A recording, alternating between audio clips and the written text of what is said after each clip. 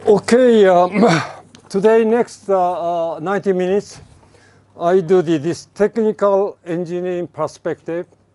And this is the first time I do this one. So the, I may be uh, uh sort of, uh, uh, may not be too polished. That's just bear me. next year, probably I can do much better. But next year I have another lecturer uh, who is going to do this one? I'm going to explain why that's the case. Okay, there's a technology and the engineering. Okay, and what's the difference between technology and engineering? Is it obvious to you or is not too obvious to you?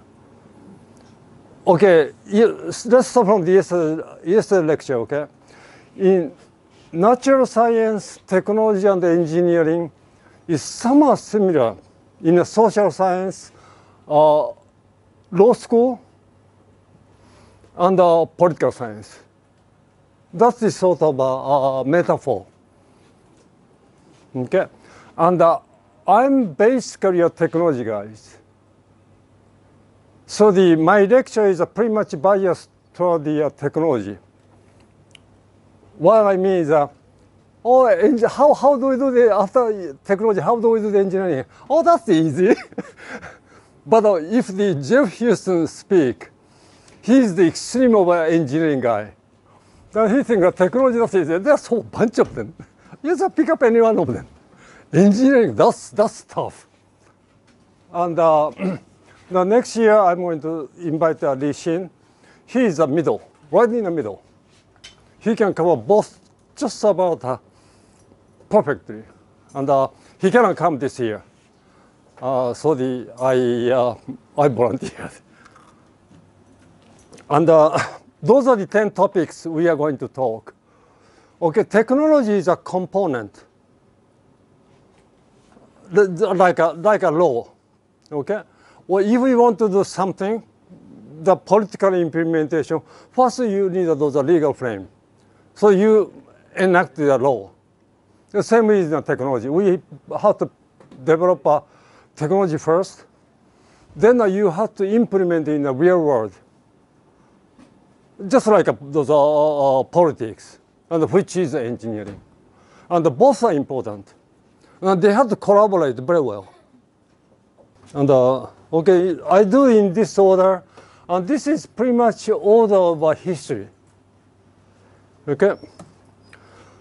And uh, okay, first, probably we can say we started uh, uh, computer networking research in the 1960s when we started having uh, uh, many computers.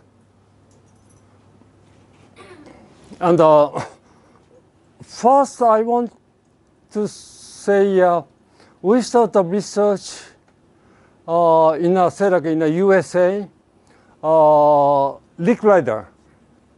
He's happened to be the psychologist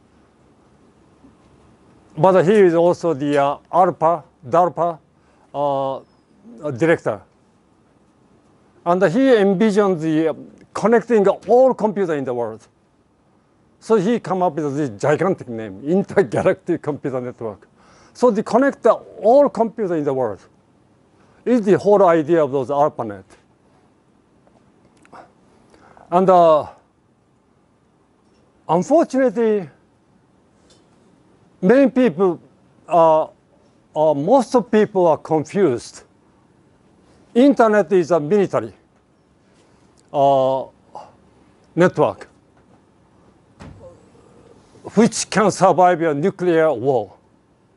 And uh, that's wrong, completely wrong. If you can read in uh, any decent those are history book, the, the, why people make so many mistakes is, is some, in a sense it's a coincidental. Uh, we started this intergalactic computer network ARPANET at uh, UCLA. Basically, this is a MIT group. The, this, Licklider is uh, from the MIT, and the project manager at uh, ARPA is MIT, and the, the project principal investigator he just moved from MIT to UCLA. So it's an MIT group. Okay? so the UCLA sort of become a uh, uh, center. Then uh, my classmate, like uh, uh, Cerf, Jon Postel, they are the uh, those uh, actual guys who developed those uh, uh, technology. And 10 minutes away by car in Santa Monica, there's an organization called the RAND. And uh, they did, before the ARPANET, about five years before, Air Force project. And the Baran came up with this idea. Is there any there's a network which can survive a nuclear war? And then those two, it's only the 10 minutes away, Santa Monica and uh, West LA. They didn't have any contact whatsoever because one of them is for the MIT, the academic group. The other one is uh, uh, Santa Monica Air Force uh, think tank. And uh, moreover, this Baran, he just come up with a paper, didn't implement at all. And uh, at the ARPANET primary mission is the um, uh, experiment, implement. So it's a very different group. So they didn't have uh, no communication. After ARPANET is up and running, then they realized there is uh, another study in a neighbor. Okay, so the, please do uh, understand uh, nuclear war doesn't do anything to do with those ARPANET. And moreover, uh, like in Europe, they think ARPANET is a military project. But uh, even though this is uh, funded by the ARPA, Advanced Research Project Agency of DOD, probably claiming this is a military project is, uh, I guess, overkill. At that time, all computer science project, uh, including this one, networking. Networking, software engineering, AI, graphics, computer architecture, this all funded by the ARPA. Then the, do we say, do we say like all computer science is a military project? Again, that's sort of a, a overkill. But to why some people get confused is uh, uh, military, uh, since it's uh, right next door to the ARPA, so the, when the output came up, they tried to utilize. Then uh, they could utilize this computer networking and the software engineering. The rest of them, no, the, the, the uh, DOD military was not interesting at all.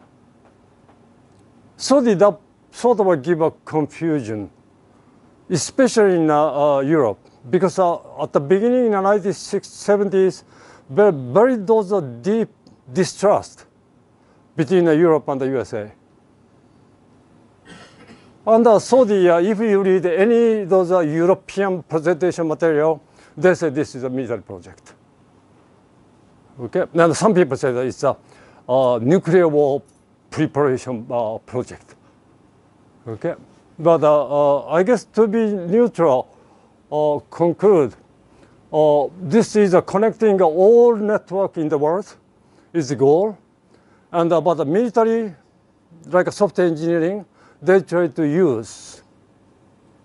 Okay, so they give a sort of impact, but there's a two uh, different operation. Okay, in a U.S. term, this ARPANET project, you don't need a security clearance. Okay, but the military project, you need a security clearance. They, they, in the USA, this is very strict. Okay, having this, uh, uh, uh, we had a lot of research network in the USA, UK, and France. And uh, in the 70s, uh, there is a commercial network uh, area. We have a development. IBM, the DEC, difference, this is far bigger. Funding wise, 10 times, 100 times bigger. Like this one is a small medium. This is a, say like 100 million project. And another one is a, this one is a basically a single computer. IBM works only for the IBM computer. DEC works only, only the DEC computer. And this one is work supposed to work for the everything. Obviously. And at the end, we sort of finding out this is the right approach. But at the beginning, around the 60, 70, we thought this is a lousy approach. The performance is just terrible, and uh, it's not functioning. Like we thought that this, uh, this is a by professional, this is by amateur. And uh, because I started those research around, uh, around this time. And I saw, we saw the, this uh, UCLA project. The later I joined the UCLA. But uh, it's, uh, that's a graduate student work. This is a professional those engineers work. Then uh, later, uh, we have uh, those uh, PC network and telecom network.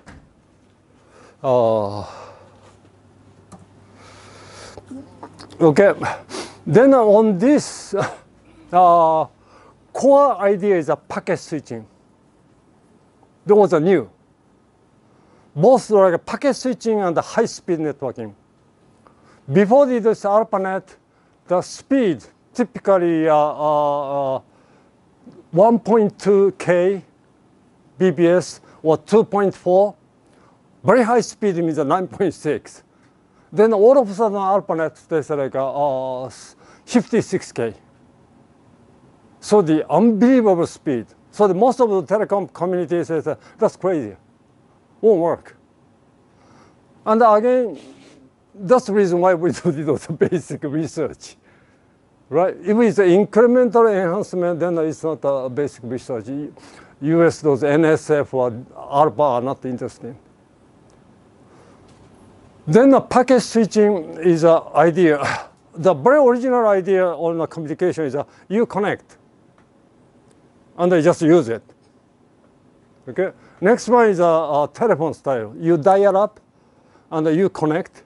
Then uh, during the, your call, uh, uh, nobody else can use it. Either you use it or not, the rest of uh, others cannot use it. The packet switching is more like a, uh, sending those uh, postcards.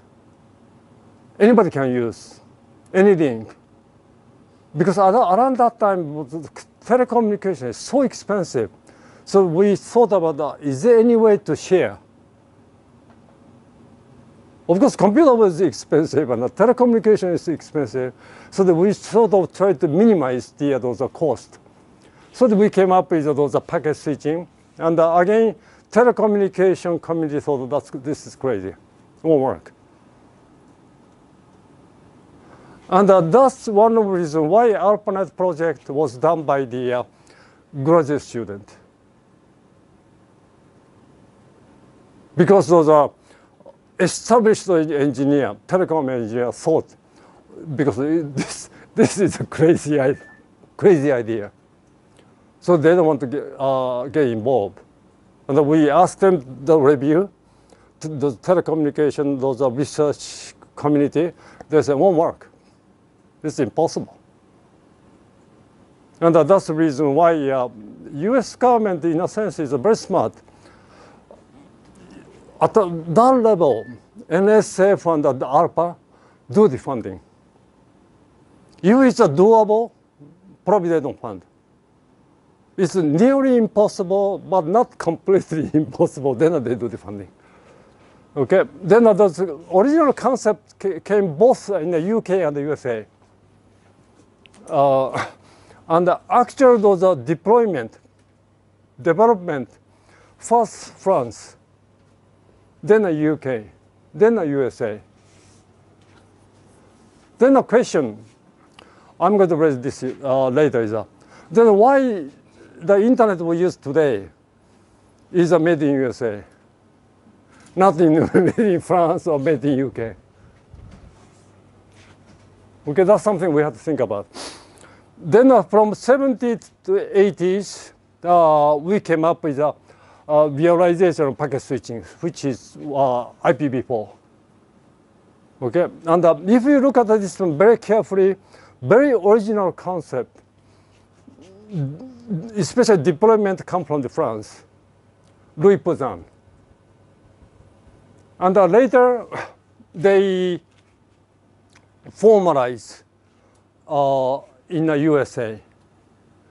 Through the, uh, we had a two group. One of them is a network working group, NWG, then uh, which become uh, eventually become IETF. Uh, it started in the very beginning of 1970. And uh, then uh, we called another one IWNG, International uh, Network Working Group, INWG. And uh, that's in a sense beginning of internet governance, 1971. There was those uh, uh, it's European and American. Somehow they collaborate research-wise, but uh, uh, the deployment-wise, they cannot cooperate. So they had a lot of meeting. Eventually, it's just they couldn't do it. So the to me, when did the internet governance start? Uh, around 1970 or 71. Then uh, we sort of uh, usage was recurring almost every decade until about uh, 2000. Okay, then the 1970s, IPv6 or not. And uh, here, the why we have IPv6? Because IPv4 is a 32, 32 bits. If IPv4 is a 64 bits, there are no reason why they cannot do it. Then we don't have those IPv6. We don't need. we don't have to spend those uh, hundred billion dollars on IPv6. And uh, that's the engineer.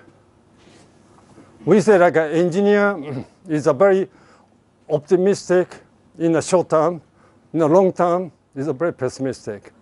Uh, social scientists is the other way around. In the short term is that they are so pessimistic. In the long term, they are much more uh, optimistic. So the, I think that we should collaborate. Then uh, since IPv6 doesn't work too well, uh, we implement uh, uh, water. Uh,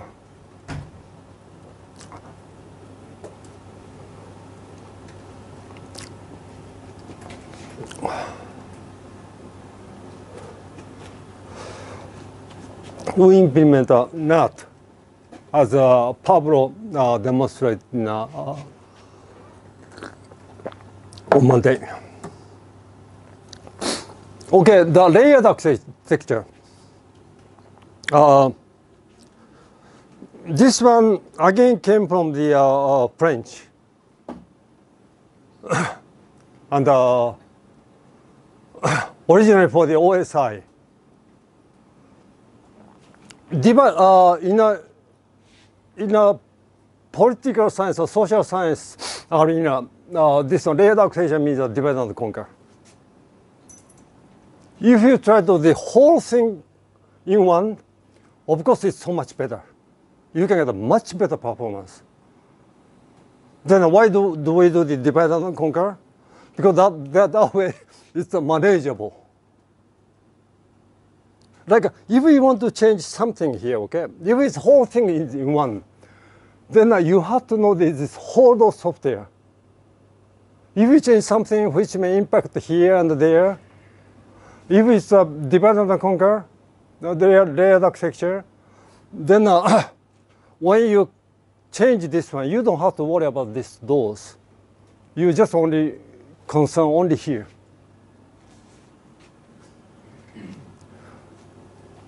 When I started working in the 1960s, we didn't have this. Oh,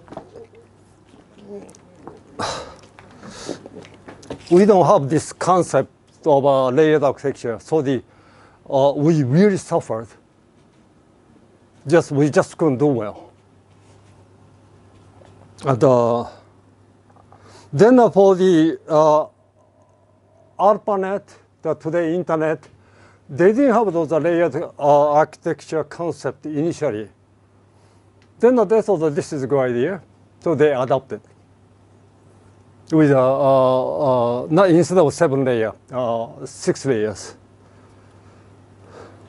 And the security and the management and data, they are sort of orthogonal to this one. Like management means that you have to have management at the, every layer. Security again, same thing. Okay, and still like uh, this uh, this development in the 1970s still be used today.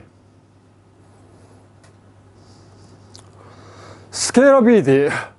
This is something uh, we have to think about, and uh, you guys, most of you as a social scientist, uh, please give a good thought.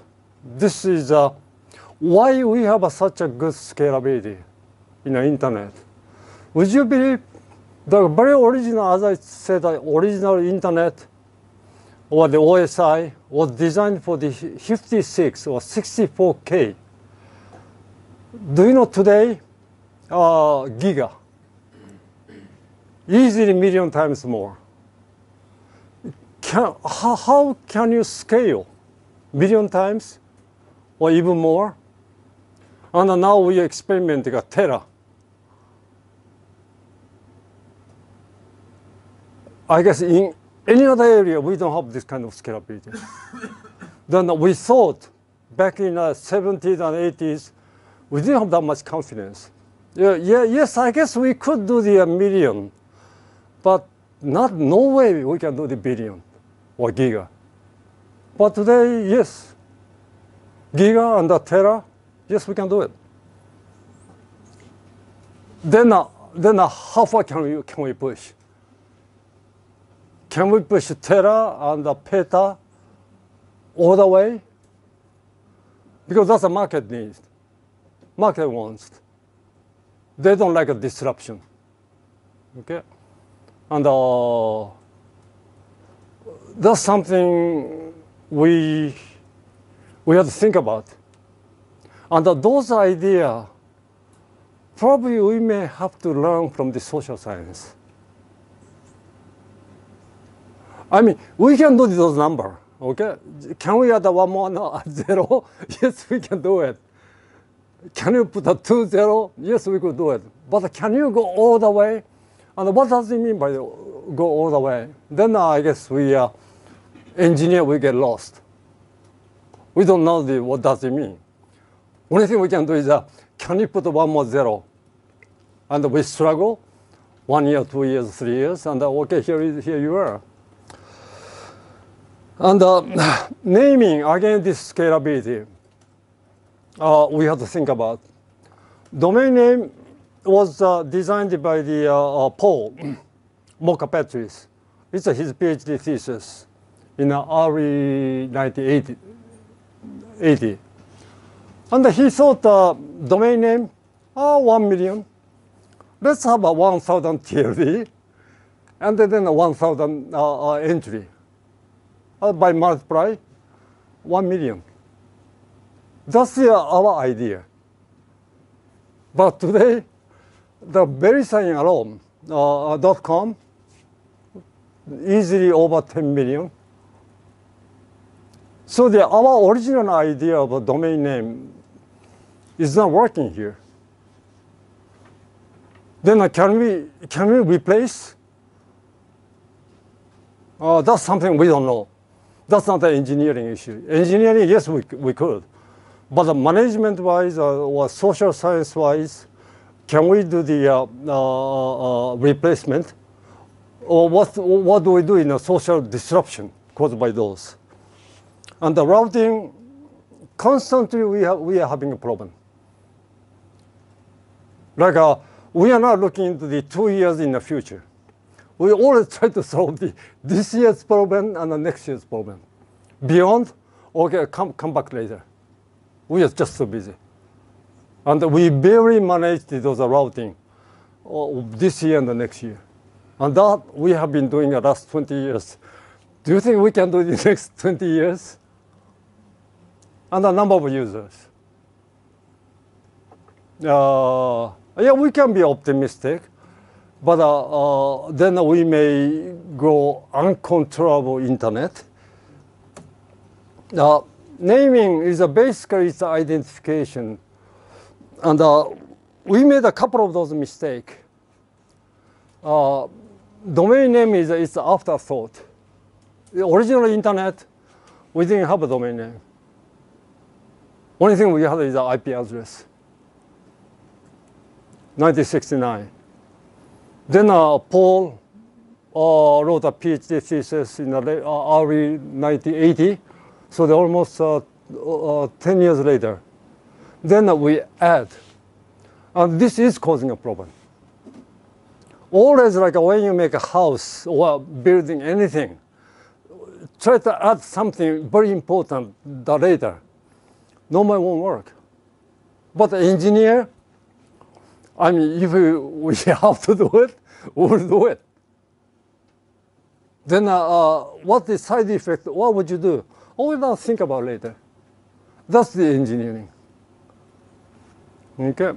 If it's working now, don't touch, don't change. Okay, that's our attitude. Then we have many of those uh, afterthought. But fundamentally, we still don't know what does it mean those identification in the uh, internet. And probably don't expect us technologists to solve this problem. Because once this one is uh, uh, implemented in the society, then uh, those social scientists should define the, what, what does it mean by the identification. Then if you give a specification, yes, we could implement. But if we make, if we make uh, uh, this design, then we do the one which can solve the next couple of years. Okay, because in the society, the identification is a very fundamental issue. For, for us, it's a convenience. Originally, we did it by number. And uh, then I thought, uh, no, number is not too good. Let's do the uh, uh alphabet domain name. We sort of add up. Okay, and also this causes a problem. Uh, this is, uh, even though we say internet is distributed, this domain name, no, it's a central control. So that we, may, we create a ICANN. And that's caused architecturally this is a very pro problematic, technically speaking. Then uh, do we coordinating well between uh, uh, technologists and those uh, social scientists? No. Main reason is uh, both, both of us are too busy. So if it works, just leave it until you break. Once it's break, okay, then we'll fix it. We are good in fixing. Okay, that's uh, engineering. Security, this is another afterthought. Originally, we didn't have those security at all. The reason is uh, it's a research networking. Okay, and at that time, challenge was uh, computer is expensive, telecommunication is expensive. How can I have those the best uh, performance out of those is the issue. So, so the security, okay, let's think about that one later. And uh, for the engineer, security is uh, not uh, attractive, not a sexy uh, topic. Architecture is much more, or communication is much more uh, those attractive. Uh, then uh, uh, we have a fundamental problem. Can we make those internets secure?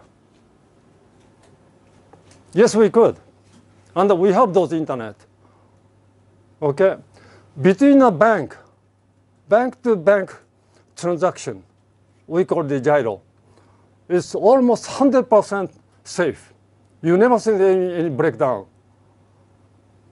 We can make it that way or the uh, uh, network within NSA or the uh, DOE, uh, I mean nuclear, uh, nuclear weapon, those research facility. They're safe, but it's ridiculously difficult to use. Then the problem is a contradictory. We are, it's a social infrastructure, infrastructure means even the, like um, elementary school kids or the 80, 90 years old senior should be able to use it. And uh, this, how do we handle this complete those uh, contradictory those uh, requirements? And we are in the middle. And uh, this one again, don't expect um, engineer to solve this problem. Social scientists should solve and give us a specification. Then probably uh, we could implement. But if asked to make those architecture, no. We are not uh, trained that way. Then the next one is uh, uh, this. Once you get into cybercrime, cyber surveillance, cyber war, we just don't know how to handle. This doesn't belong. It's beyond the internet governance. I think about that. Do you think like um, NSA surveillance level? You think we can do the multi-stakeholder approach with the open document? No chance. So we are some different level of the governance. And we don't have it today. Okay, then uh, uh, the lastly, malware, malicious software, what do you call the virus. This one is increasing now in the last 10, 20 years. Proven is a, it's a, it's not a convex, it's a concave or exponential explosion. Today, you get this much per day. And the, and the exponential explosion. How do we handle?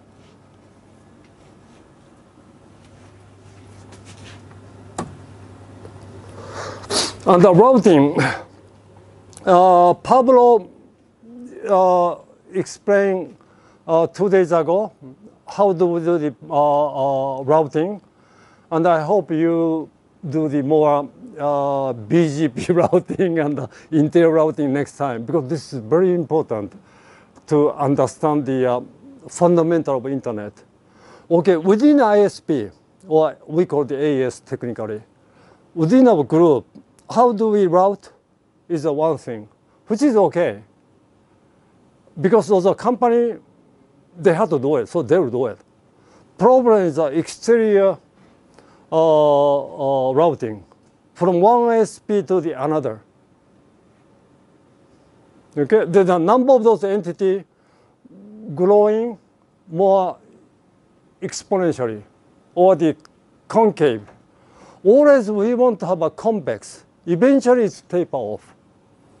But it's not doing that way. It's sort of a concave or exponential uh, uh, growth. Then uh, how do we handle those uh, exterior uh, uh, routing? And we have a technology called the BGP doing pretty well. But how far can we push? The table is getting bigger and bigger and uh, uh, we don't have uh, like a, choice like let's change IPv4 to the IPv6. We don't have those choice. We have to hang on to this table. Table, all those uh, AS number, or, or roughly speaking, all those ISP is in the table. So the one ISP to the another ISP, how do we go, is the issue. And uh, it's tough. And uh, we are sort of solving in a short term this year's problem and next year's problem. We don't look beyond the two years. That's uh, we'll think about that later. And how far can you push? Once this digital economy become a trillion dollar, they don't, they don't like us to do this way. Probably they rather prefer, okay, we'll give you a, a billion dollar. Or if you need, we'll give you 10, 10 billion dollar, 100 billion dollar. Why don't you solve the uh, problem completely, which we can use next, say, like uh, 10 years or 20 years? We are not operating in that way. We are doing it in a volunteer base at the IETF. That's, uh, that's what Jim implied uh, uh, yesterday. Okay, communication is uh, uh, easier. First of all, yeah, optical communication, about 20 years or 30 years, are doing okay. We are very lucky. We have a, a WDM. WDM is a, like a fiber using as if this one fiber be uh, say like a 100 fiber. It's a magic. Okay, it's a one fiber as a one fiber as one fiber. Uh, anybody, anybody can do it. Can you put say like a 100 fiber into the one? That's what we are doing with this tech technology. So the, today, typically you can get a, a terabps.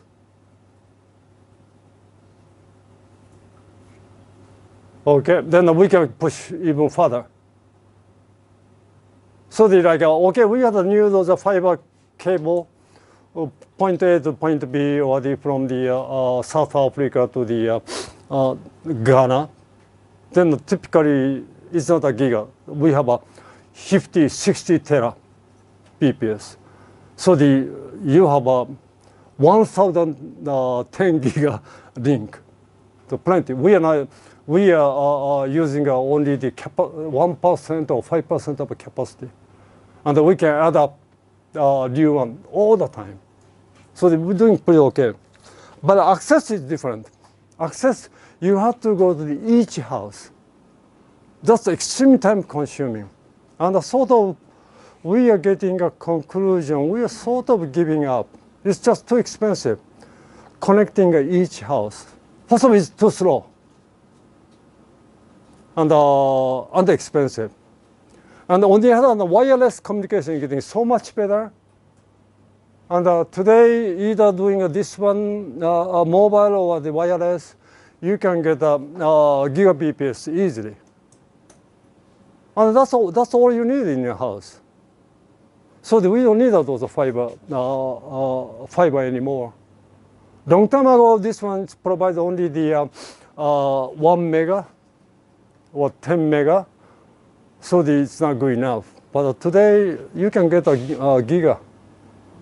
So the so the seems we are switching toward the, the last mile, switching to the wireless, including mobile, and the backbone up to the, the tower nearby your home is a fiber. Those combinations seems to be doing okay. For for next, say like 5, 10, 15 years, we don't see any problem.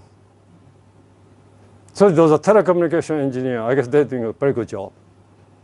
Uh, the cost is just coming down.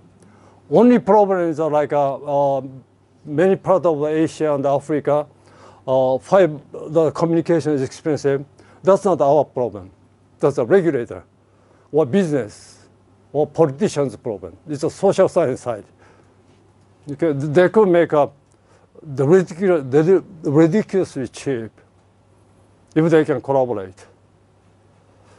And uh, so it's not an engineer's problem, okay? And the uh, Internet of Things, this is a headache to us. Yes? Why was WiMAX not a success? Uh, uh, the, the data. Uh, uh, Internet of Things, this is a headache and it's coming. And uh, we don't know what to do. And uh, we may be heading toward the anarchy, as yesterday's talk. One of problem is, uh, okay, human is uh, 80 billion. Okay, rough ballpark figure, 10 billion. And uh, I guess we are solving those 10 billion problems and uh, we spend enough time. So the, I guess it's sort of under control. Then uh, can we handle the uh, one trillion? That's where we are heading within the next 20 years. And uh, ask any those uh, lead engineer, technologists, can you handle the one trillion? I don't think they'll say yes.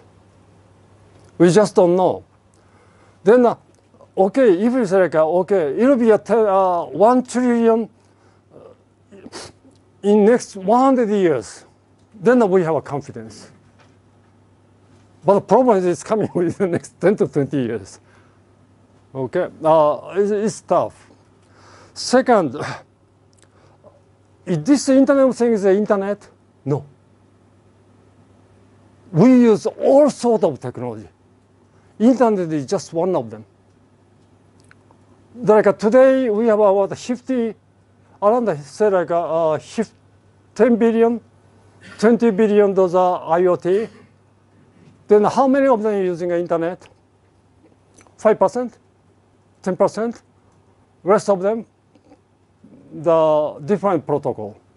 Then how do we cooperate? Oh, okay, let's have a standard.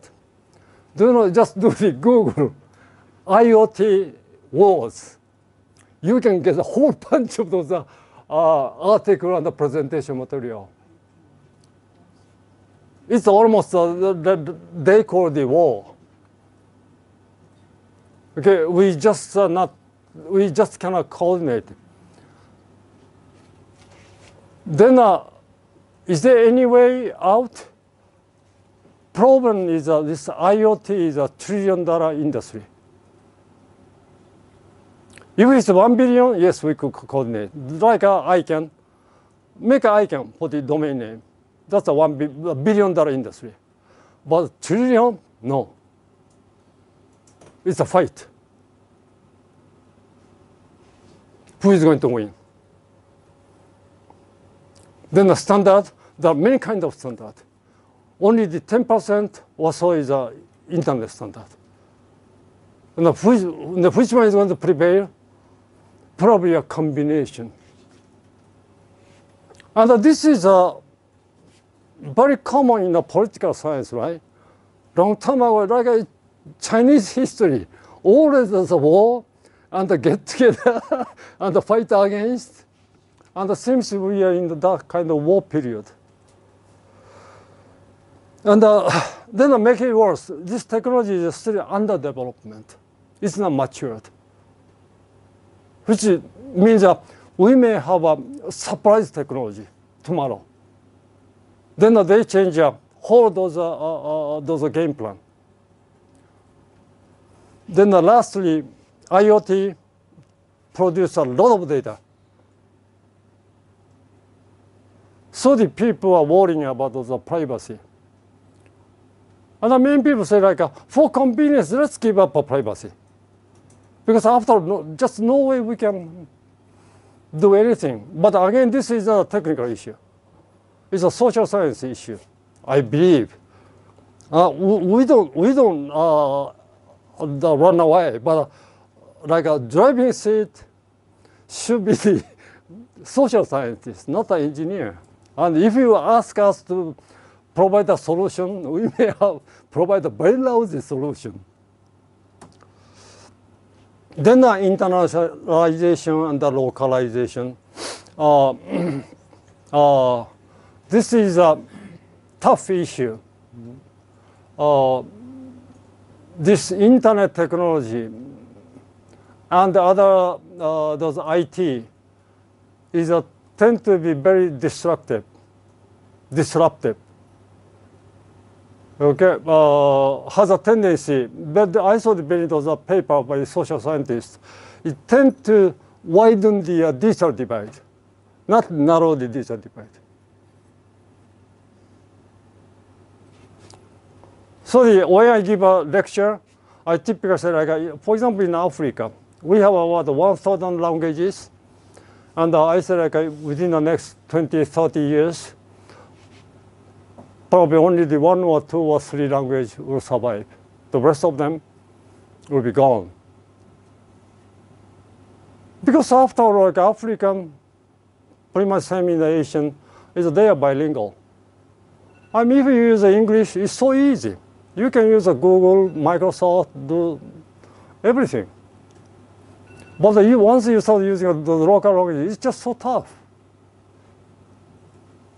And uh, if you want to have a Google-like search, do you know how much does it cost? Easily billion dollars. And who can afford those billion dollar or more? Is the issue because uh, uh, uh, those are those are things we have to do it. And uh, once you get in those uh, uh, content and the search and translation, they're getting very expensive. Each, each one of them, if you want to have a proper decent one, easily you should uh, expect a billion dollars investment. Then which country in uh, uh, Africa and Asia can invest that much? Okay, and uh, the couple of remarks. First of all, uh, this is my major area. Internet is a, is a large scale system and a complex system, and we have to handle accordingly. If you think in a simple, simple, simplicity, simple-minded, probably won't work. Not in the 21st century. In the 1970s it worked, but not in this century. And the fragmentation is real. It's just a matter of how do we handle. And some of them may be uh, good, technically and also socially. And some of them are bad. And some of them is the sort of uh, depends uh, where you are. And uh, so the, have a good study. And uh, if you can wait until next year, Milton Mueller, Milton is writing a book now. And uh, probably he can come up with a reasonably good book.